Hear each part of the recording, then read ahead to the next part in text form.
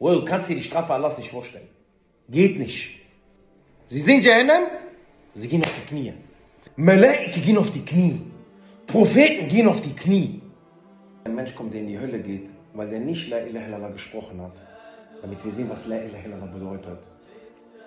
Allah Azza wa Jalla sagt zu ihm, wenn ich dir die ganze Dunya und was in dieser Dunya ist, stell dir diesen Planeten vor, alle Häuser, Steine, Blätter, Insekten, das Meer, Bruder, was wir zu 7% vielleicht erkundet haben, das ganze Meer, der Allah sagt, ich gebe dir die ganze Dunya und was in dieser Dunya ist, als Gold, würdest du das spenden für jetzt, dass du nicht da reinkommst?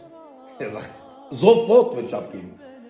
Heutzutage, Bruder, gibst jemand 1000 Euro und sagst, du das spenden für Allah, der würde von den 1000 Euro 20 Euro abgeben und der denkt, der ist der Spender. Ja, ich bin richtig Karim, ja, ich bin so richtig großzügig.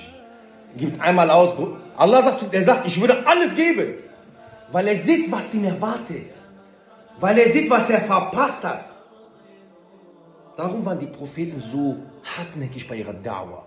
Darum Nuh a.s. von seinen 1700 Jahren, 950 Jahren, Bruder, die Leute haben Ohren zugemacht. Die haben sich danach, haben sich Decken über den Kopf gelegt, die ihn nicht sehen. Deswegen hat sie trotzdem gerufen. Weil er wusste, was Sache ist. Was sagt der Gesandte a.s.? Wenn ihr wüsstet, was ich weiß. Dieser Hadith, bekannter von Abu Dhar, wo Abu Dhar sagt, der Prophet a.s. hat uns erzählt, die Himmel machen Geräusche. Was sagt der Prophet am Ende des Hadith? Wenn ihr wusstet, was ich weiß, ihr würdet wenig lachen und viel weinen. Und ihr werdet euch nachts nicht in den Bett noch und vorlegen, sondern ihr würdet rausgehen und suchen nach Vergebung.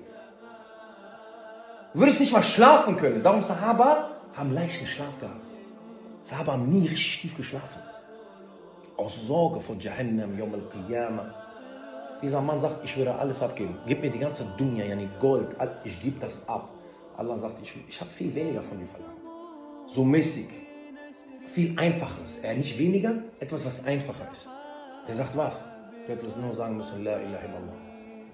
Das heißt, La ilaha illallah in der Waagschale bei Allah wiegt mehr als die ganze Dunja, was in dieser Dunja ist. Es wiegt mehr als das.